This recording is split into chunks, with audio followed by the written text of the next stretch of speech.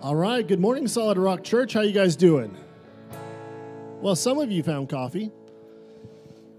So, just a couple of quick little things. If you are a child up to the fifth grade, you are dismissed, and you can go back with Jody and the uh, children crew back there, and you guys will enjoy a, a message about God in a level that you will enjoy and not fall asleep on.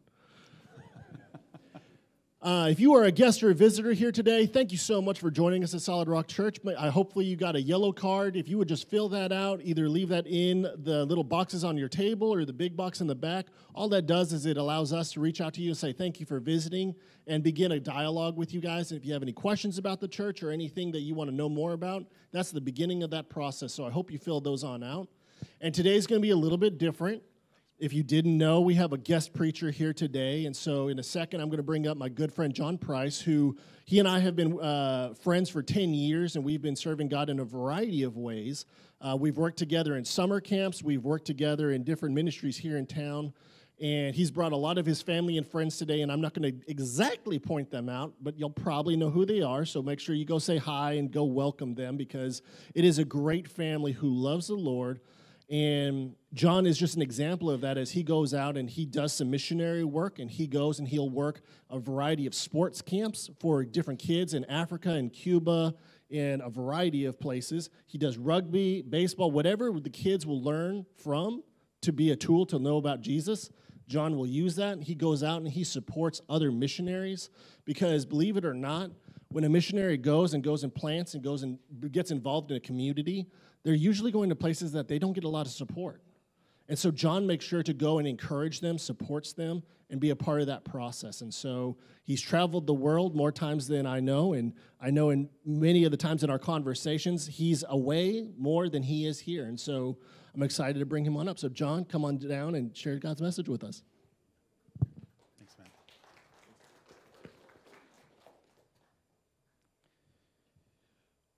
Well, I'm very excited to be here today. The Bill and Matt finally let me preach after all these years. Yeah, I'm persistent. So uh, I love this church. You guys have been a part of our ministry uh, for a while. As Matt said, um, me, I am a full time missionary, and my main mission is to go support missionaries. Sometimes that involves evangelistic outreach. But a lot of times that involves sitting across the table and encouraging them in the places where they need encouragement the most. And it's a wonderful job. Anything surrounding getting to enrich the lives of God's people with encouragement and preaching the gospel is where I want to be. And so I'm very, very thankful to be here today. You have wonderful pastors Matt, Jordan, Bill, and it's been wonderful to see this church and all the people here. You have wonderful members of this church who have encouraged me, elders who have encouraged me, times and retreats that have meant a lot in my life being here. So I am overjoyed to be here to be able to preach. I can't say I'll do as good a job as you're used to, but I did hear that I have the most slides out of everyone who has preached. And the funny thing about that is, my father is a speaker, and he has at least 80 slides every time he speaks. And me and my two of my sisters are here now, and they can attest that we tell him, Dad, you gotta cut down the slides. So I am humbled to learn that I don't fall too far from the tree. but we have a, I have a wonderful message that I'm excited to preach today. And I want to do that. Um, before that, I want to open up our, out of the scripture today is going to be in Romans, Romans 5, 1 through 5. Uh, if you're able to stand, if you'll stand, I want to read God's word. You can follow along with me. It doesn't matter the version, doesn't matter the language. This we are in Romans 5, 1 through 5. Therefore, having been justified by faith, we have peace with God through our Lord Jesus Christ, through whom also we have obtained our introduction by faith into this grace in which we stand. And we exult in hope of the glory of God. And not only this, we also exult in our tribulations, knowing that tribulation brings about perseverance, and perseverance, proven character, and proven character, hope. And hope does not disappoint because the love of God has been poured out within our hearts through the Holy Spirit who is given to us. Amen. You may be seated.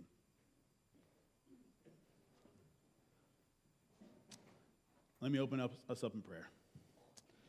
Lord Jesus, I know that right now I need your Holy Spirit. We all need your Holy Spirit. This is a place of worship, a place of prayer, a place of learning, and Lord, a place we want to know you better.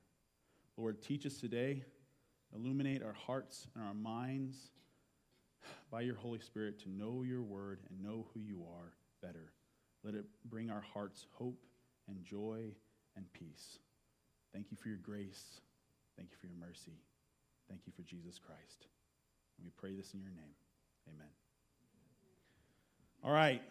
Title of today's sermon is The Pressure is on Rejoice. The pressure is on Rejoice.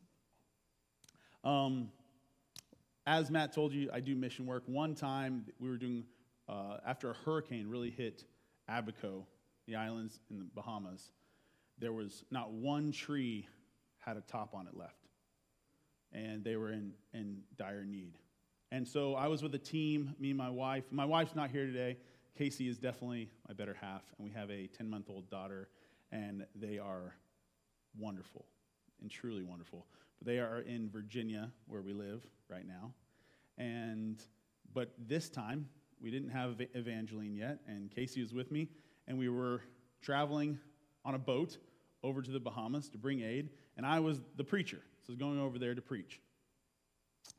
And on the way over there, they said, All right, we've got to get dinner, we've got to get lunch. Let's jump in the water. We're going to spearfish and get some fish and cook it and eat it. Well, this is my first experience spearfishing, but there I was, as I'd kind of gotten the hang of it, missing fish after fish after fish in, in shallow water. And finally, I was upgraded to some deeper water. And I was down there, and I felt like I was one with the fish, right? I let the fish go by me that I wasn't going to hit, and I was just waiting for the big one. And I, I looked up, and there was a, a huge mackerel, like a Sierra mackerel, all right? And I knew that was the one, and my heart started pounding. And I pulled back, it's a sling spear. I pulled back, and I hit the fish, and it swam off to the, to the deepest area, trying to escape. But it, but it, was, it was injured, it was, it was dying. And so when I found it, I knew I had to go down and get it. And it was about 40, 50 feet of water. So, so I, sw- I swim down, hold my breath, and as you go down, I don't know if any of you have been diving or swimming, you, you have to equalize. So you, you blow your nose and you equalize. You equalize your sinuses. Everything's connected your ears, your sinuses, your nose, your mouth. And so I was trying to equalize and I was going down, down, down, but I was excited and I was just going down uh, I wasn't equalizing quite right. You see, I, as Matt said, I played a lot, a lot of rugby in my life, and I recently had sinus surgery, but at this point I hadn't, and I realized that my sinuses had issues. They'd been broken and cracked, and I wasn't able to equalize very well. And when I swam down to the bottom and got that fish, the pressure I felt was overwhelming. It feels like you're your head is going to explode. It's, and it's only 40 feet of water pressure. It's not, not that much, but I felt it. But at the same time, I got that fish and I swam to the top and I was holding up over, out of the water to make sure that a shark didn't come get it. And my, my wife's on the boat watching, and she looks at me, and I'm just covered in blood. My nose just burst, and my eyes just covered in blood. and I, but I was happy as can be. And I, I wish I had the picture. It's, it's in my phone, but I'm holding this fish just with a big smile on my face and blood everywhere, right? And pressure causes problems. Pressure is a problem. And the reason I titled the sermon, The Pressure is on Rejoice, if you notice in Romans 5, it says that we will have tribulations. Okay? It says, and not only this, we also exult or rejoice in our tribulations. Your version, version might say trials. Well, this comes from the Greek verb thlibo. Okay? The word tribulations comes from the Greek word thlibo, which means to be under heavy pressure. And so it, sometimes we think of trials as the external things that maybe Satan brings into our lives, or maybe uh, you know it's it's not something that is our fault, or it's not normal. But we all experience pressure. We all experience those, that heaviness, and it can come from a lot of different directions. It can be self-induced. We can cause ourselves problems, right? All right. It can come from exterior issues or people.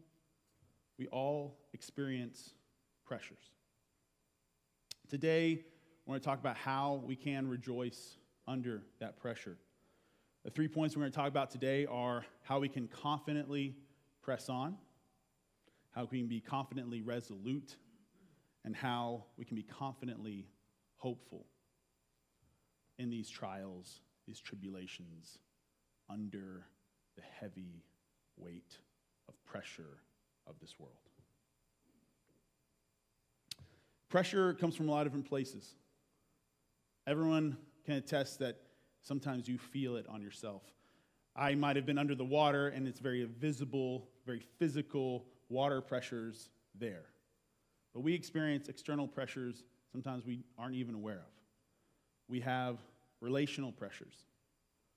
Some of you have children who aren't following the Lord, or you have brothers or sisters who aren't following the Lord, family members, dear friends who are in trouble, have health issues. You might have health issues. We all experience financial pressure. I know if I'm in a fight with my wife, I'm under pressure. or maybe I don't know I'm in a fight with my wife, and I feel the pressure before I realize what's wrong. We all have pressures. Some of you have deadlines for school, or exams, or papers, or work pressure. There is so many pressures in this world.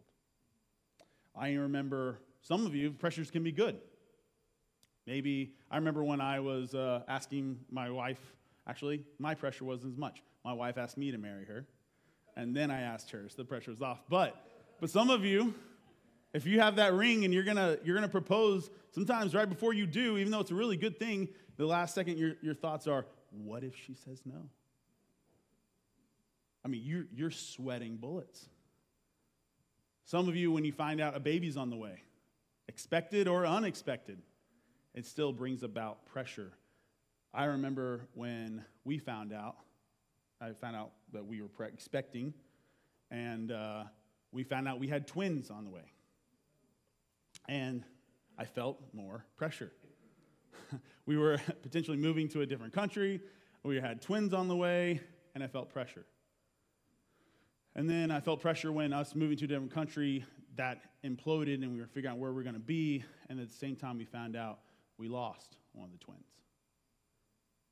And the grief of that was pressure. Loss of relationship, whether by death, loss of friends, loss of experience, loss of jobs. Those things all apply a lot of pressure. And I think we can say, truthfully, they feel like trials and tribulations and they're heavy upon us. There's a, a way we can handle pressure. And God doesn't say it's through stoicism.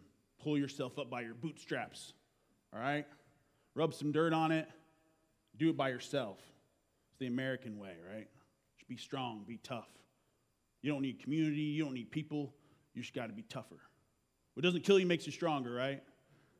Like, no we can't handle everything that comes at us. And also, there's certain people and places and churches that says, that says you should enjoy these, these trials, enjoy this pressure. But that's a little uh, self inflicting to enjoy self inflicted wounds. It's not, you don't want to welcome that. No one wants grief. No one should welcome heaviness and trials and issues and problems. But God does say to respond to these things by rejoicing. A quote by Robert Haldane in a commentary I was reading for this really struck me. He says, Not only does the believer rejoice in hope of future glory, but he rejoices even in tribulations. This rejoicing, however, is not in tribulations considered in themselves, but in their effects. It is only the knowledge of the effects of afflictions and of their being appointed by his heavenly Father that enables the Christian to rejoice in them. Being in themselves an evil and not joyous, but grievous. They would not otherwise be a matter of rejoicing, but of sorrow. But viewed as proceeding from his heavenly Father's love, they are so far from depriving him of his joy that they tend to increase it. All these pressures, these trials, in of themselves, they're evil. They are worth our sorrow. You should lament. You should cry. You should say, This is awful. This is terrible. Death is not meant to happen. But it does. But in the knowledge of God's love and God's grace and God's plan for all of it, it should produce rejoicing. God doesn't just say, He doesn't just say, okay, don't be sad about it, rejoice. He gives us a step plan on how it gets there, the natural progression for why we can rejoice under pressure. And so the first thing in how we can rejoice is we first we can be confidently pressing on because we know what God has done. The first thing we have to do is we look to the past. We look to what God has done to remind us that we can rejoice. We have to have confidence in a trustworthy God. If, if you have something you're really going to get through and you know it's hard, unless you know that the reward is on the other end, it's, it's, it's going to be hard to get there.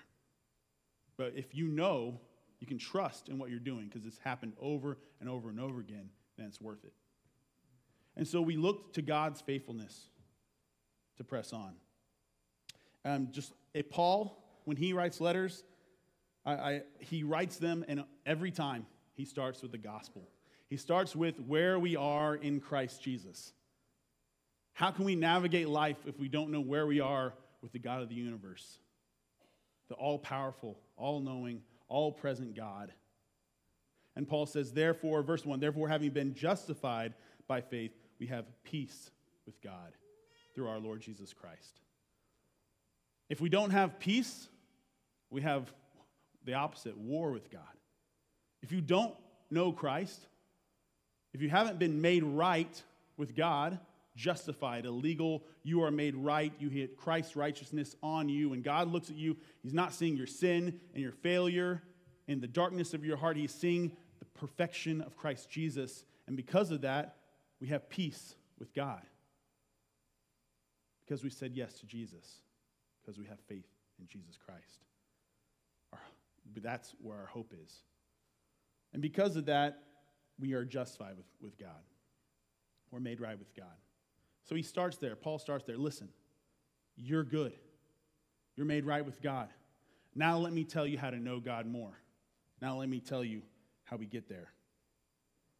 Um, when we're remembering what God has done for us, I think there's two places we can look. One, we can look at what God's done in our lives personally. I think every one of us has a testimony, right? Each person can remember the things God has done in their life, been faithful to them. I look at my wife every day and I realize God is faithful and good and gracious. And when I forget that, Matt reminds me. and the other place we can look is God's Word.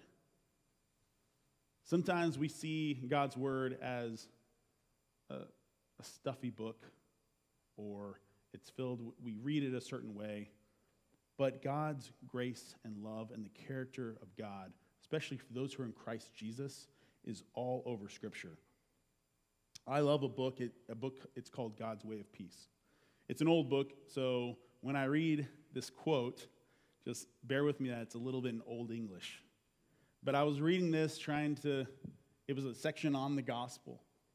And it says, hey, if we need to remember the gospel, if, we, if we're going to go about this to know who God is, to remember what God's done, then we have to look. We can look at the scripture. And he listed out verse after verse after verse. And I'm going to read them to you because the amount that's in here is what impacted me. Because sometimes I forget that God is truly gracious. So Horatius Bonar says, Let us hear then the words of God as to his own grace and mercy. The Lord passed, passed by before him and proclaim, The Lord, the Lord God, merciful and gracious, long suffering and abundant in goodness and truth, keeping mercy for thousands, forgiving iniquity and transgression and sin. Exodus 34, 6 through 7. The Lord is long suffering and of great mercy. Numbers 14, 18. His mercies are great. 2 Samuel 24, 14. The Lord your God is gracious and merciful. 2 Chronicles 39. Thou art a God ready to pardon, gracious and merciful. Nehemiah 9, 17. His mercy endureth forever. 1 Chronicles 16, 34. Thou, Lord our God, and ready to forgive, and plenteous in mercy unto all them that call upon thee. Psalm 86, 5. Thou, O Lord, art a God full of compassion and gracious, long suffering, and plenteous in mercy and truth. Psalm 86, 15. Thy mercy is great unto the heavens. Psalm 57, 10. Thy mercy is great above the heavens. Psalm 108, 4. His tender mercies are over all his works. Psalm 145, 9. Who is a God like unto thee that pardons iniquity and passeth by the transgression of the remnant of his heritage? He retaineth not his anger forever, because he delights in mercy. Micah 7, 18. I will love them freely. Hosea 14, 4. God so loved the world that he gave his only begotten Son. John 3, 16. And God commends his love toward us in that while we were still sinners, Christ died for us. Romans 5, 8. God, who is rich in mercy, for his great love, wherewith he has loved us, even when we were dead in sins. Ephesians 2, 4 through 5. The kindness and love of God, our Savior, toward man, Titus 3, 4. According to his mercy, he saved us, Titus 3, 5. In this was manifested the love of God toward us, because that God sent his only begotten Son to the world, we might live through him. Herein is love, not that we love God, that he loved us and sent his Son to be the propitiation for our sins. 1 John 4, 9 through 10. The only begotten of the Father, full of grace and truth. John 1, 14. Grace and truth came by Jesus Christ. John 1, 17. The word of his grace, Acts 14, 3. The gospel of the grace of God, Acts 20, 24.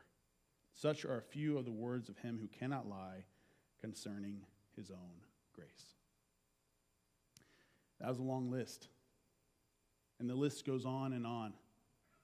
And sometimes I go about my day and I doubt the grace of God. I doubt the character of God. I doubt the standing I have in God. But I, we need to remember what God has done for us, what Christ Jesus has done for us when he was on the cross and he said, It is finished. And we have the grace and the mercy of God in our lives. And so we, have, we should not forget that when we're needing to persevere and press on under these heavy pressures and trials. That's the first step. That's the first step in pressing on. Now, the next step in pressing on, the kind of the Bible, the scripture in Romans 5, if you go back to that, it gives us the step by step, right? Not only this, but we rejoice in tribulations, knowing that tribulation brings about perseverance. So the pressure brings about pressing on, and the pressing on brings about proven character. Proven character in this means attestedness. It's not saying characters, you're a great guy or you're a, a, character, right? Sometimes Matt says that about me as a compliment. It's not a compliment. Uh, but this is testedness, okay? This is going on. And, and how can we have, can we be confidently resolute? We can be confidently resolute by knowing what God is doing. Now, we've looked at what God has done and you can look at the scripture to see that God is gracious. You can also look at the trustworthiness of God in that Christ was something completely different. Okay? Did you know there's a, a book and it has mathematical equations? And the mathematical equations deal with the prophecies that Jesus himself fulfilled. And Jesus fulfilled over 360 prophecies from Old Testament to what he did in, in life, in history in the New Testament. And if we take just eight of those prophecies, can anyone, I'm going to ask the crowd, can someone name something that would have been a fulfilled prophecy of Christ? Anyone? Taken, taken from the audience. Okay, uh, pierced, born of a virgin, okay? Born in Bethlehem, and not just like there's two Bethlehems, born in the right Bethlehem, the smaller one, okay? What else? Okay, cast lots. We have, maybe he was from Nazareth. What else? brought out of Egypt, bruised for our iniquities, the, the beating he took, whipped, the stripes he was whipped, okay? All right, he was from the, the line of Judah, the house of Judah, the, the house of David. He was betrayed by a friend. That, that's 10, just off the top of our head. If you take eight of those prophecies, okay, the same mathematical probability that that would be fulfilled in one person is the same as if mathematically, if we took silver dollars and we filled up the state of Texas with silver dollars a foot deep, okay? Then we take one of those silver dollars, we put a red X on the back of it, toss it in randomly. I blindfold you and I send you out there and I go, okay, you get one pull, one chance to find that silver dollar. I'm to start you in Texarkana. You can walk to El Paso. All right, no one wants to go to El Paso. Uh, and, and you got to find that silver dollar with the red X. You get one chance. If you do that, it's the same as if Jesus fulfilled eight of those prophecies. He fulfilled 360 of them.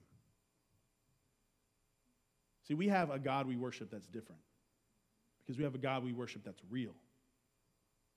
Christ, what he preached was different than every other religion. He doesn't say, do this and God, God will give you eternal life. He says, I did it for you. I was having a conversation this morning with my brother in law about what is love, true altruistic love. And we came to the conclusion that only in Christ can we truly love. True altruistic love is nothing you get back from it at all. That's what Christ did. He said, Here's eternal life is a free gift of God. You have to say yes to Jesus. Not, okay, do this and then you get eternal life. No other religion in the world guarantees you a life made right with God or the higher power or eternal life with doing nothing in return. Because it doesn't make sense to us. Because we're human, but God's love is divine. The person of Jesus Christ was divine. It was not human, humanly orchestrated that Christ would fulfill 360 prophecies. It's not even mathematically, it's a number larger than it could fill this room if I had to write it. It's impossible with man, but possible with God. That is the God we look to when he tells us to obey, when he tells us to have hope, he tells us you will get through this pressure and these trials. We look to God and we can press on and that enables us to build our character. We're trusting God through those, those trials. So, how can we be confidently resolute? We by knowing what God is doing. I'm going to go a little nerd on you and quote Lord of the Rings here. Frodo says, I wish it not, it need not have happened in my time. And Gandalf says, So do I, and so do all who live to see such times. But that is not for them to decide. All we have to do is decide what to do with the time that is given to us. How can we be confidently resolute, have proven character? Stay in the present right now. We don't have the past.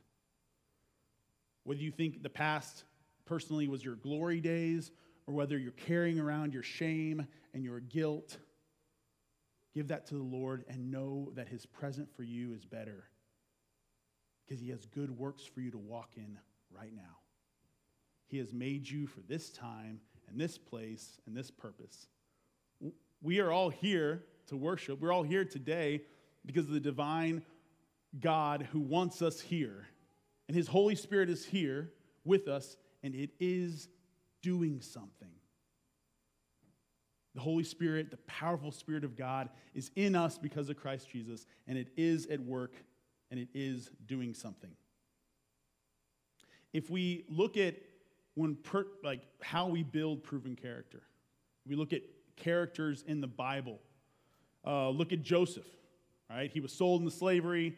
He was an arrogant kid, sold into slavery. He went. He was in prison. He he, interpret, he was falsely accused, he was in prison, he interpreted dreams, he was forgotten about, and finally God used him to save all of Israel and preserve the prophetic line to Christ so we could all be saved. And I'm sure in that time in prison and the false accusations and the trials and the pressure that he felt, he could have doubted God's plan for him but by the knowledge of what God has done and God's faithfulness, by the Holy Spirit growing us, God gave him the character. It was produced, the character was being built, it was doing something. Right now, God is doing something in you, in me. It's at work. We, we aren't built overnight. God doesn't use, if we say, God, use us, He doesn't just go from, from zero to hero he puts the, the pressure on to build us into people who have character that trust God in the present. And he does this by his word, but he does this by his Holy Spirit. In the, in the Bible, it says in Acts, oh, no, it's not Acts, but uh, here it is John 14. He will give you a helper that he may be with you forever. John 14. 16 through 17. We have the Holy Spirit, He is with us. Don't look to the past. Don't look to your mistakes. Don't say, God can't use me. I've done X, Y, and Z. Christ, grace is sufficient for you. There is no condemnation in Christ Jesus. He has good works for you to walk in. By the power of the Holy Spirit, He has good works for you to walk in. Stay in the present. And just like the song was talking about, God, what the enemy means for evil, God works for good. Romans 8 28. And we know that God causes all things to work for, together for good to those who love God. God is at work for our good. So, we have confidently pressing on because we know what God has done. We're confidently resolute because we know what God is doing by the power of his Holy Spirit. And then we so we can be confidently hopeful. We can be confidently hopeful because we know, know what God will do. We don't just have a God who is dead and we trust his words. We have a God that is alive. And not only we have a God that's alive, but whatever your, your end times beliefs are, we know that Christ is coming back. He will come back, and we will be with him forever. He didn't create a people that would live and die and mean nothing. He made us for eternity. We will be with God forever, rejoicing forever. Whatever He's doing with our lives now, it means something and it has purpose. So, one of my favorite songs is it says, When we arrive at eternity's shores, where death is just a memory and tears are no more, will enter in as the wedding bells ring. Your bride will come together and will sing, You're beautiful. I think of that song, I think about seeing lost loved ones. Think about seeing Jesus face to face. I think about rejoicing with all of you and us knowing each other fully, us knowing God fully as He fully knows us we have a future hope. And it's a hope that will not disappoint us. I'm going to quote Lord of the Rings again. But uh, Gandalf says, It is not despair For despair is only for those who see the end beyond all doubt. What he's saying is if, if you know what's going to happen, then you have despair because it's hopeless. And what his this version is is actually this is uh, you can always have optimism if you don't know what's going to happen. But we have something more than that. We see the end. We know what's going to happen. We know Satan is defeated. We know we will be forever with God. We can see the end and have absolute hope instead of despair. And because we pressed on knowing what God has done, and because we built the character in our present knowing what God is doing, we have absolute certainty in the hope of what God will do. And in light of that hope, our priorities change. In light of the gospel, what does this stuff matter? What does our small things we think will make us happy matter? Christ is everything. We have everything. And the more we look at the person of Jesus Christ and what that means and what that's given to us, the more it increases our knowledge and our hope of how much we truly have in Him. I'm going to end today, and there's a word in Hebrew that the rabbis used to talk about. And this word is emet. It's the Hebrew letters Aleph, Mem, and Tav. And that's the very first, very middle, and very last letter of the Hebrew alphabet.